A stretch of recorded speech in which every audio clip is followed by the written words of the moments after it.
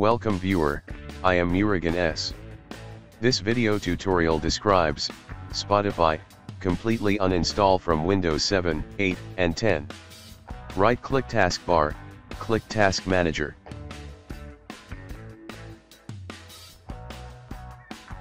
Select Spotify. Click End Task. Type Control Panel in Windows search bar. Click Control Panel. Click Programs and Features. Select Spotify, click Uninstall.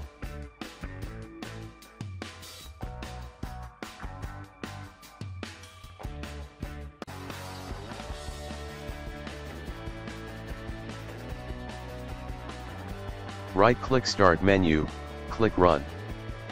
Percentage App Data Percentage. Click OK. Click File, click Change Folder and Search Options. Click View tab. Check Show Hidden Files folders or drives. Click Apply, OK. If any folder name like Spotify delete that folder.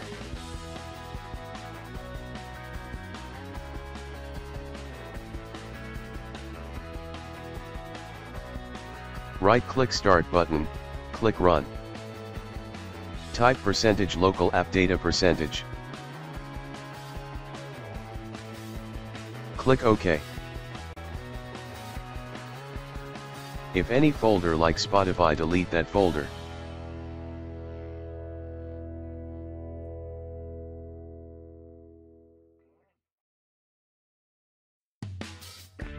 Thanks for watching. I hope, this video tutorial helps to solve the problem. Please like, share and don't forget to subscribe my channel. See you next video.